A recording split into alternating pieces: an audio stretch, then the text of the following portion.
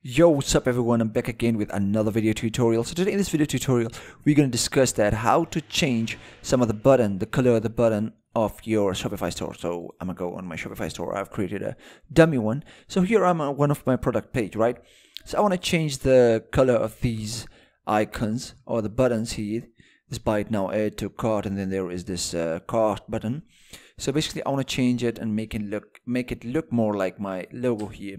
So if I zoom in on my logo, as you can see, it's a red. It has a red uh, color in it. So basically it's a dummy uh, website or Shopify store. So how am I gonna change this and make it make that? So to do that, what you need to do is basically first of all go to the admin panel. This is the of your shop, right?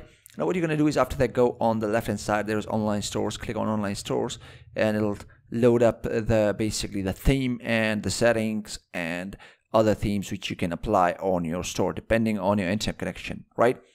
So basically when you are on this page and uh, everything loads up now what, what's going to happen is um, now here you see there is this customized but I'm using the Dawn theme at 7.0.1 now this is the latest one as of recording this uh, video. Now what I'm going to do is I'm going to click on customize right?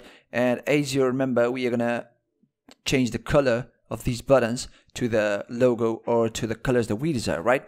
Now, once I'm here, it's going to take a bit of a loading. Now, I want to go on the product page, right? So I can just simply click here. As you can see, there is the home page. Click here and go to products and it'll take up a bit of a loading and it'll load up the products or you can do is you can just scroll down click on one of your product here highlight it click on it and it'll open up the page now as you can see we are right now on the page and now from here you can see that is there's the buy button right you can toggle it on off you can do that. Now but what we want to do is we want to basically change the color of it. So how are we going to do that? To do that what you're going to do is you're going to click on the theme setting. Now I clicked on the button so it's basically going to go to the default product but we're going to go back and here's where we're going to stick. We want to change these uh, icons and the color of these icons and here is the other icon. What we're going to do is I'm going to click on the theme setting and I'm going to go to colors and as you can see there is the primary color. I can click on it I can make it blue and as you can see every text will is, is, is doing the loading. Once the loading is done it's going to change everything to the that color. And then there's this black right? But we're going to go and make it the white and but we want to change is this color. Basically this is the theme color. Click here we want to make it red so I'll just choose the red that I want to add and select that.